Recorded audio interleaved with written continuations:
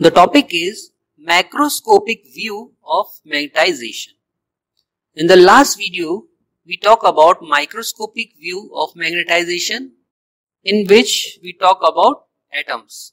And here we talk about macroscopic view means here we take a magnetic material which have infinite dimension. So we take a magnetic material which having a magnetic susceptibility psi m and its dimension is infinite and it is placed on xy plane. This infinite plane having a width of d means this infinite slab having x and y coordinates tends towards infinity but the width of d means from z equals to 0 to z equals to d.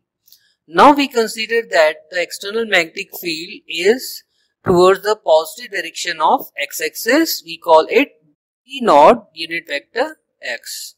As we see from the figure, the x-axis is pointed out of the page. So the direction of the external magnetic field is out of the page that is noted by dot. So this infinite plane slab is placed in the external magnetic field. The external magnetic field having a direction that is toward unit vector x that is pointed out of the page. Now as the magnetic field is pointed outward so we here we use a right hand thumb rule the direction of the thumb indicates the direction of the magnetic field and the curl of a finger denotes the direction of the dipole moment so here we represent a dipole moment that is denoted by small m vector and this dipole moment having a anti-clockwise direction that is with the help of right hand thumb rule. The thumb denotes the direction of the magnetic field and the curl of a finger denotes the direction of the dipole moment. Now as see as we see that inside the magnetic material the direction of the dipole moment is cancelled with each other means just opposite. So we get only a moment on the surface of this magnetic material. That is called a surface current density K vector. At the top surface that is at z equals to d, we get a surface current density that is towards negative direction of y. And at z equals to 0, we find that the surface current density having a direction towards the positive direction of y. So at z equals to 0, we get a surface current density k vector equals to magnitude k unit vector y and at z equals to d we get a surface current density k vector equals to minus k into unit vector y because minus sign here because here the surface current density is to a negative direction of y. So when the magnetic material which has of infinite dimension when placed in external magnetic field it get magnetized. Inside the material the magnetic moment are cancelled out, we get a surface current density at the surface of the magnetic material. At z equals to 0, this direction is positive y and at z equals to d, the direction is negative unit vector y. Now, from this infinite slab, we consider a small vertical column. So here we take a vertical column which has a dimension delta x, delta y and its width that is d. As we know that the current, surface current density flow at the surface at z equals to d, the direction of surface current density is towards negative direction and at z equals to 0 the surface current density is towards positive unit vector y. And the formula of surface current density is equals to current upon perpendicular distance. So, for the surface current density, the perpendicular distance is delta x. The formula of surface current density that is the magnitude of surface current density is noted by k and it is equals to I upon delta x where I is the current flow and delta x is the perpendicular distance. The unit of the surface current density is ampere per meter. From here, we can write a current that is I equals to K into delta X. Since the magnetic material when placed in the external magnetic field, it get magnetized. So, we require to find the magnetization. The formula of magnetization is net dipole moment per unit volume. So, here we talk about the magnitude of the magnetization that is simple capital M that is net dipole moment upon volume and the net dipole moment is equals to current into area that is called magnetic dipole moment equals to current into area and this area is the area of the closed loop. This is the point which is to be noted this area is the area of the closed loop. So the current is equals to K into delta X that is in terms of surface current density and this area of the closed loop is delta Y into D. And the volume of this vertical column is delta X into delta Y into D.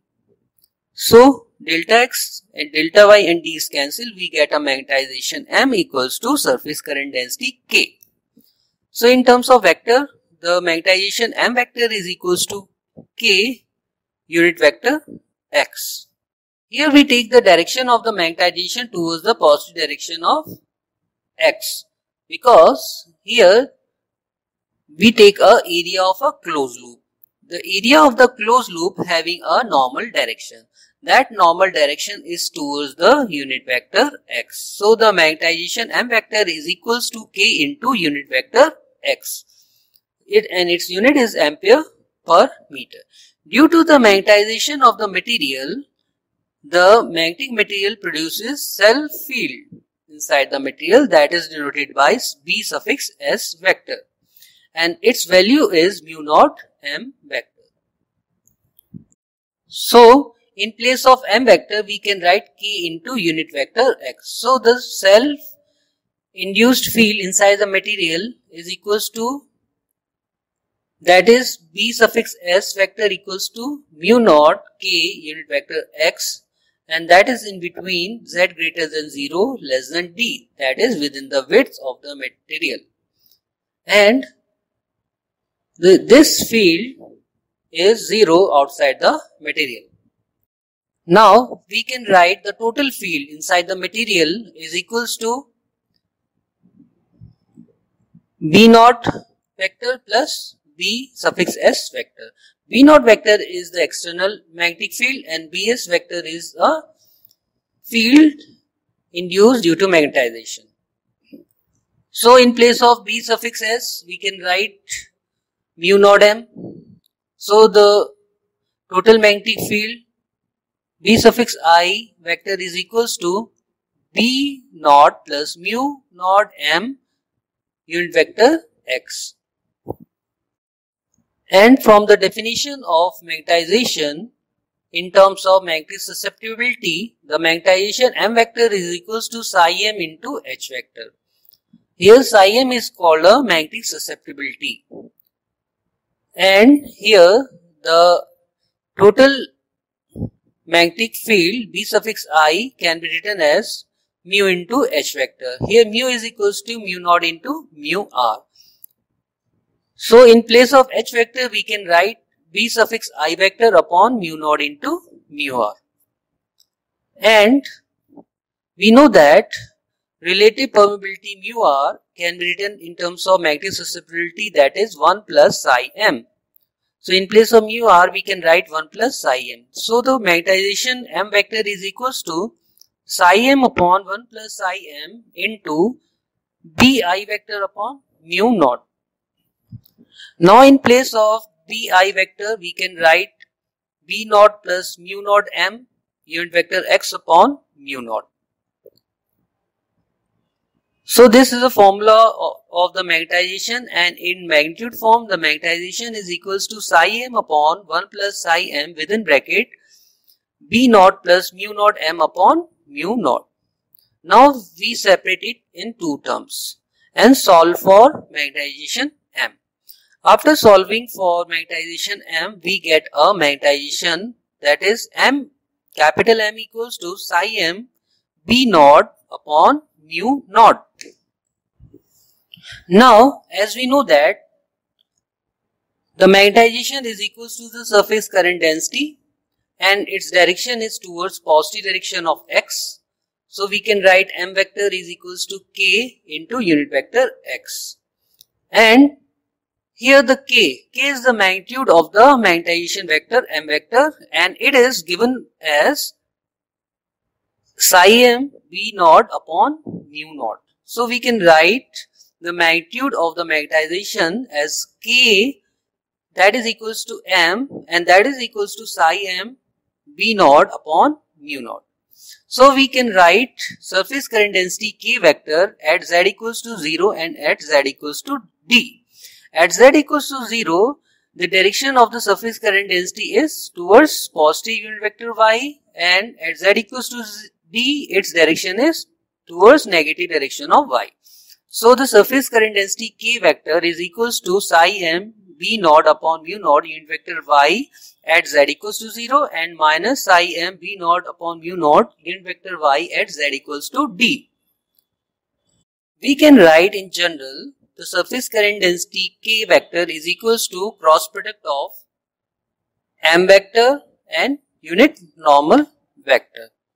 This can be explained as as the magnetization vector is having a direction that is toward unit vector x at z equals to d surface the surface current density having a direction towards negative unit vector y. The infinite slab is situated on xy plane and its normal direction is towards unit vector z. So here we take a cross product of unit vector x and unit vector z that is minus unit vector y.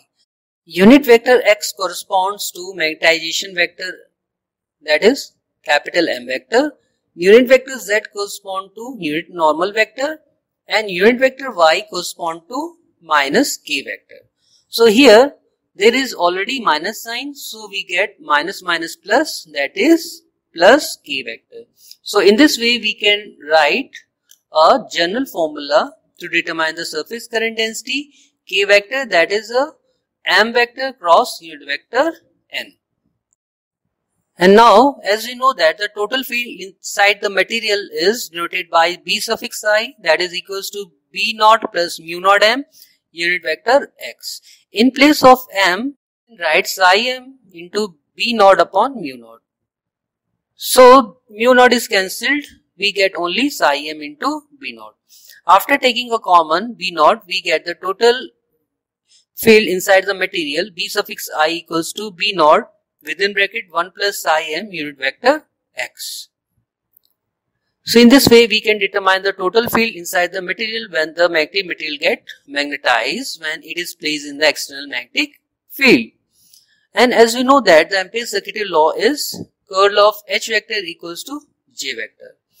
So the material, magnetic material when get magnetized, this can also be relate that is the curl of m vector is equals to j suffix m vector. Here j suffix m vector is called a magnetization volume current density or simply a bound volume current density that is j suffix b.